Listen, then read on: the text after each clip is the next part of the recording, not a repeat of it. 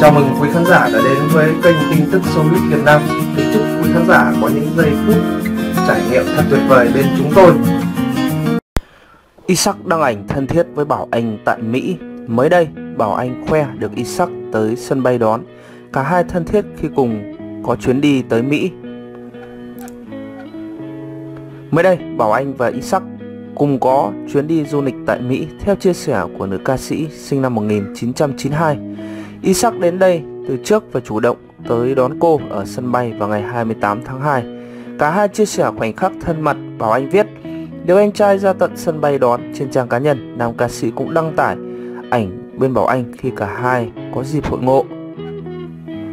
Hồi đầu năm, khi cùng bạn bè có chuyến du lịch tới đảo Bali, Indonesia, Bảo Anh và đàn anh cũng hẹn gặp nhau trên trang cá nhân của mình. Nữ ca sĩ viết hữu duyên thiên lý năng tương ngộ sau bao nhiêu sóng gió ở Bali thì anh em tôi đã tìm được nhau. Isaac cũng đăng ảnh bên đàn em thì có duyên gặp mặt.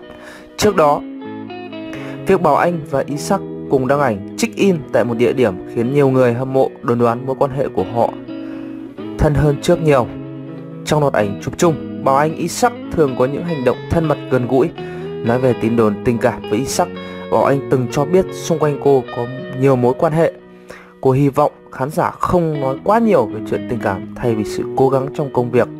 Isaac và Bảo Anh có mối quan hệ thân thiết từ nhiều năm qua. Cả hai gặp gỡ nhau trong nhiều chuyến công tác, họ giúp nhau chỉnh sửa trang phục trước khi lên biểu diễn. Dưới hình ảnh chung của cả hai, khán giả thường dành lời khen, ngợi, đẹp đôi quá, hai anh chị đến với nhau luôn đi, cặp đôi này thân thiết quá, khán giả bình luận. Bảo Anh thậm chí từng đăng ảnh đàn anh chụp cùng mèo cưng của mình.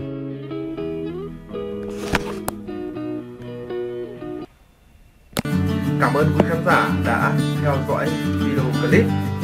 Nếu hay, quý vị hãy à, chia sẻ và đăng ký kênh để ủng hộ kênh càng ngày càng phát triển. Xin trân trọng cảm ơn quý vị rất nhiều.